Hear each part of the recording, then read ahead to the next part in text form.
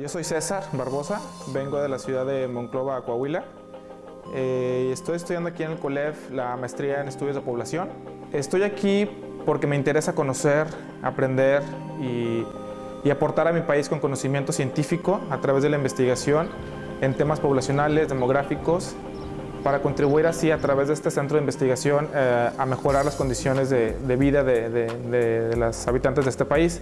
Creo que el COLEF como centro público de investigación nos ofrece eh, una gran posibilidad de aprendizaje, este, de investigación, sobre todo porque nos ofrece la posibilidad de, estudiar profundamente los temas que nos interesan y además nos ofrece la posibilidad también de, asistir a conferencias, eventos, talleres, seminarios, que creo que son importantes para nuestro desarrollo profesional.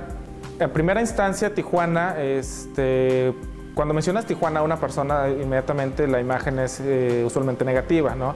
Sin embargo, creo que tenemos que darnos la oportunidad, todas las personas que estamos aquí en, en esta ciudad, de, de, conocer la ciudad, de comprenderla. También hay mucho que entender de la ciudad. Creo que es una ciudad multicultural.